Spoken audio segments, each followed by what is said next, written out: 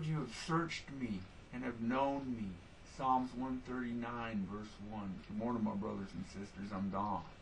Glory to God. I thank you, Lord, for my brothers and sisters. I thank you for this time together with them. I thank you, Lord God, that we are made complete in you. And I'd ask, Holy Spirit, that you would just minister to us that point today, that we are complete in you.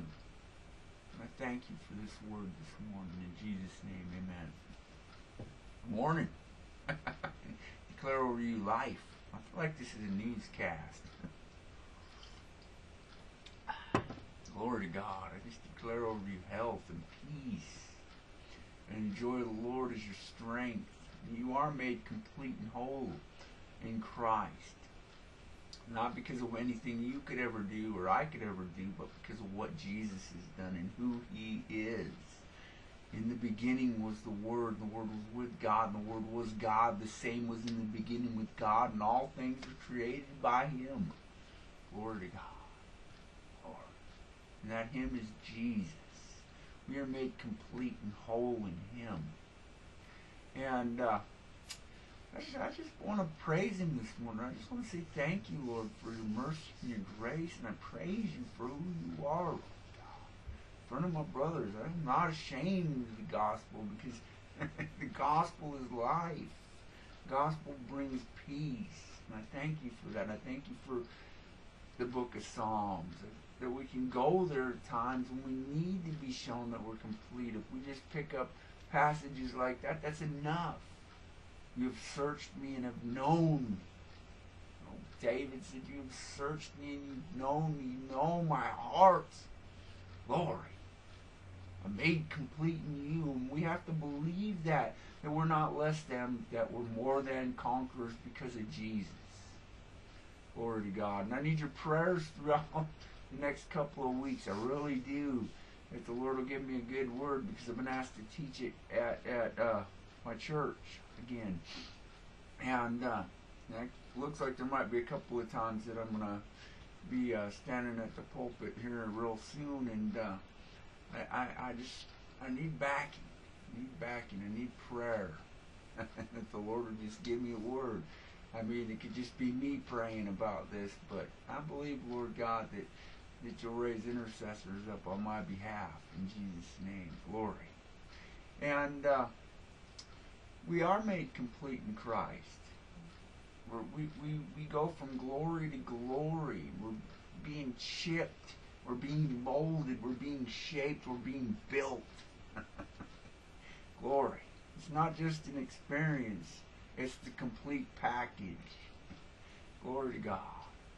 Um, and this morning, my definition of complete is having all necessary or normal parts components or steps entire.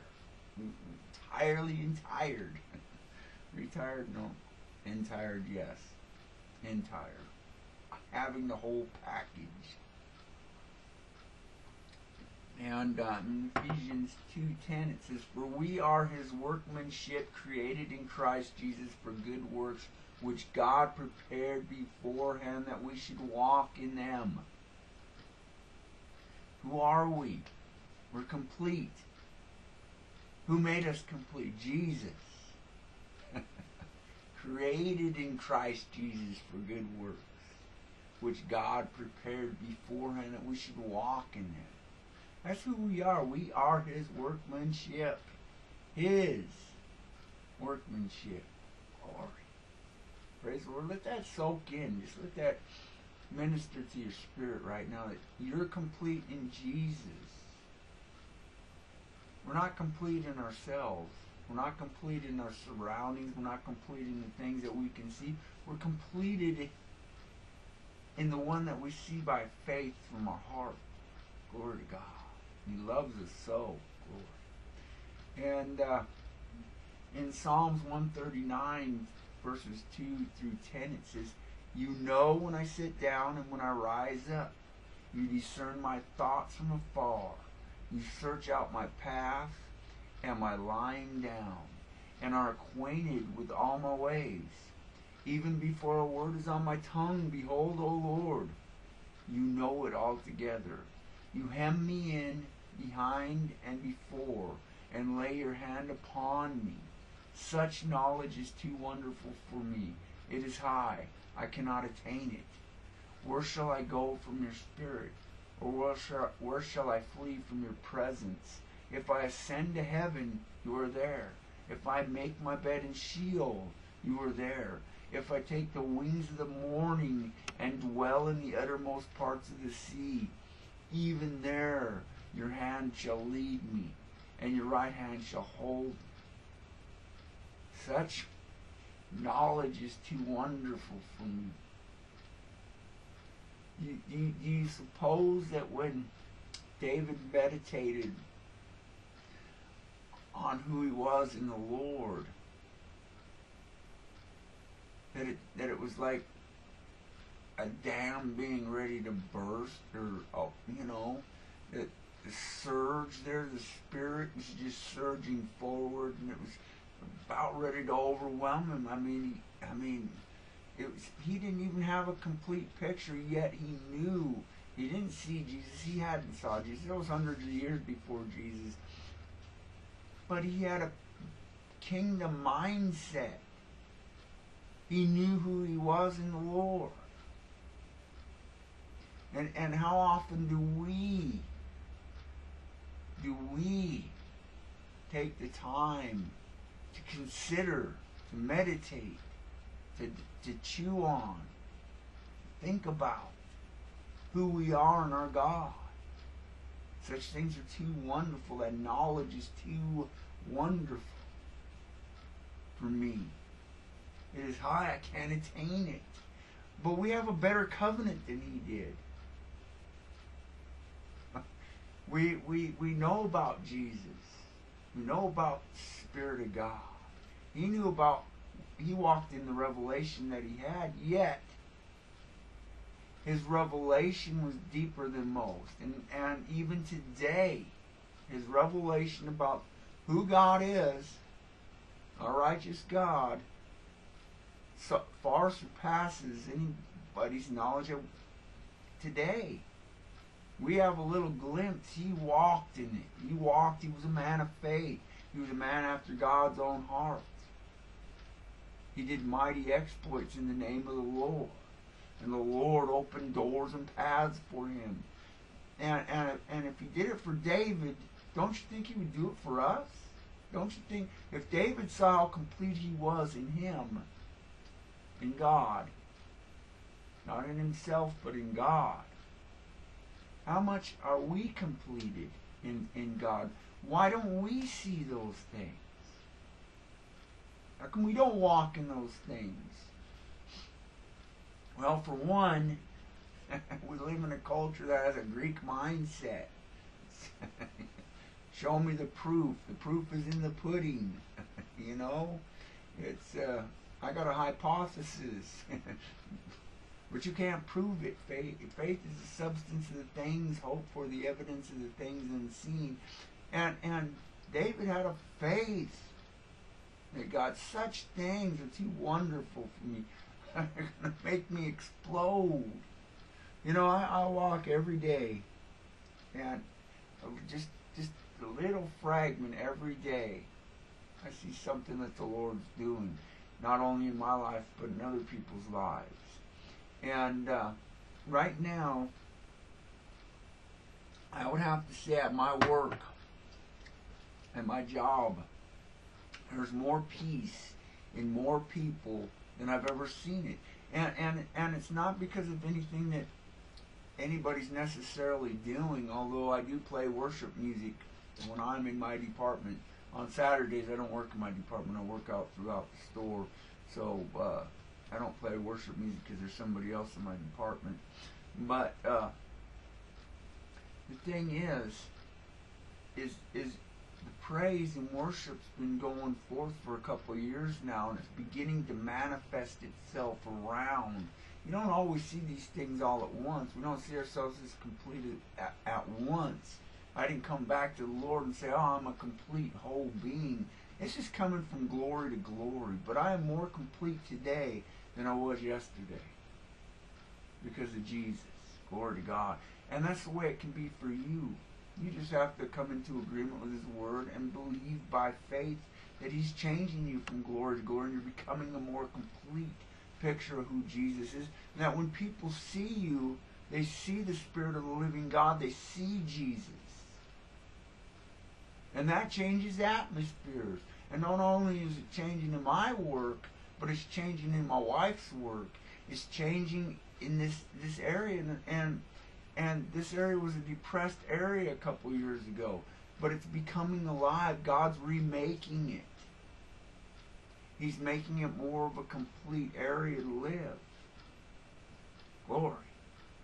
Now, on the outside, I will grant you that you might not see that, but if you've been here for any length of time and you get to know people, you're going to see the change.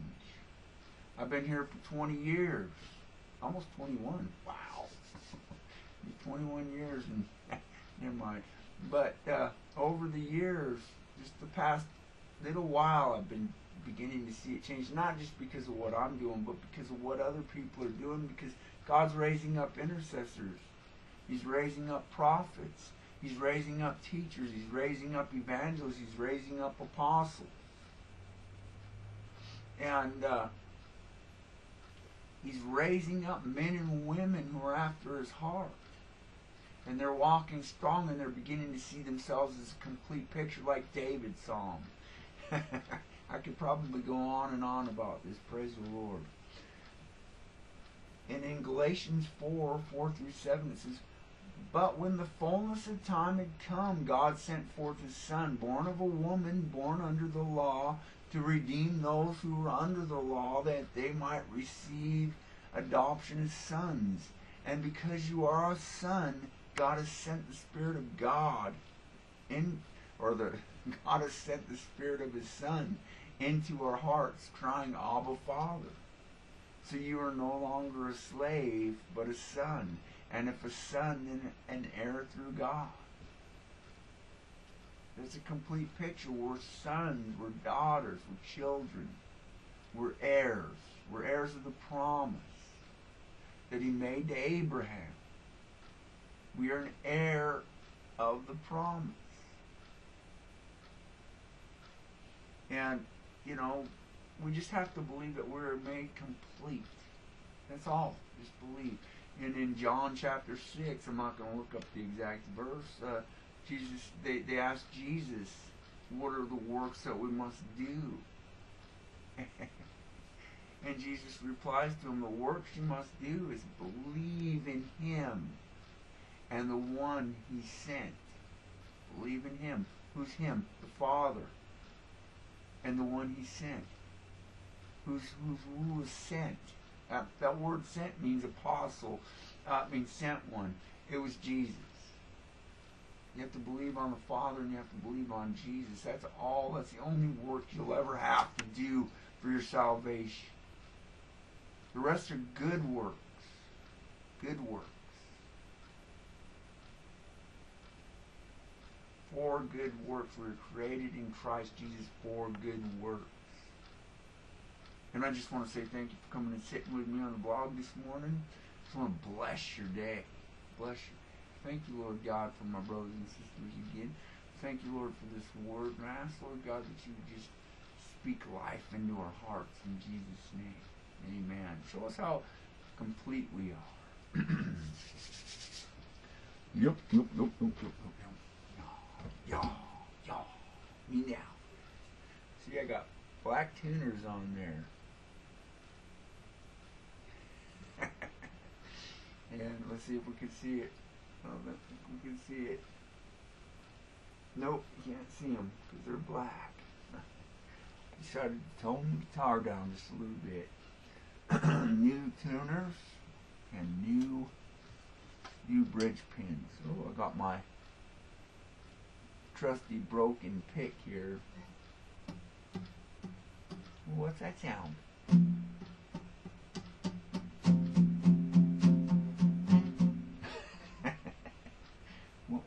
Was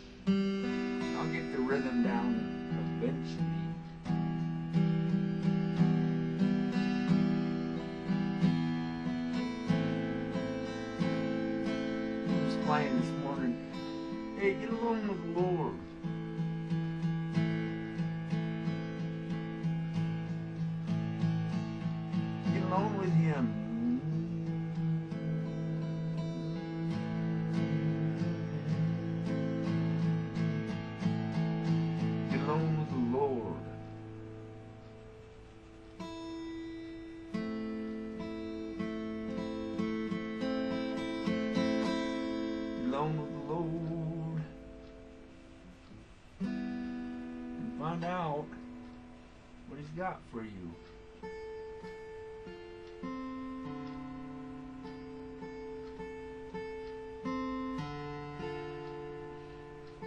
Then begin to.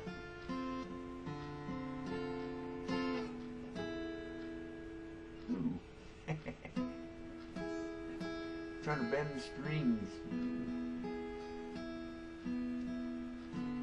Be alone with him. Praise him for who he is. Back on track here. Praise him for who he is.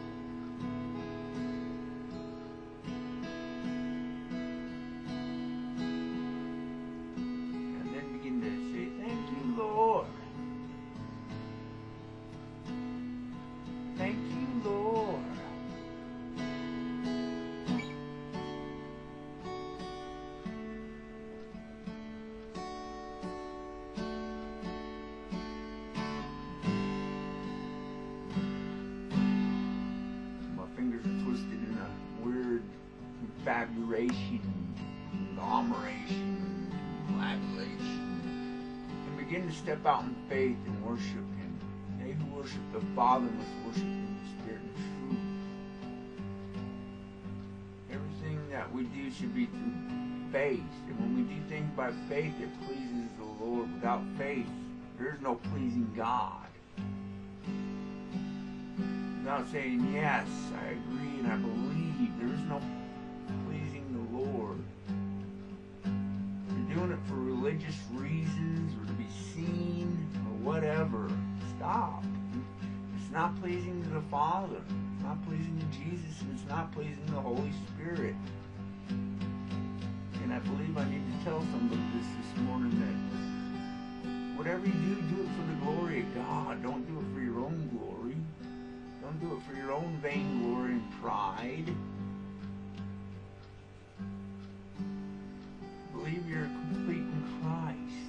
Try to fill it and make it happen. Just allow it to happen. You know, tree a fruit tree doesn't just produce fruit because it wants to produce fruit. Fruit just happens. It doesn't force itself to produce fruit. And neither can you. And I just want to say have a good day.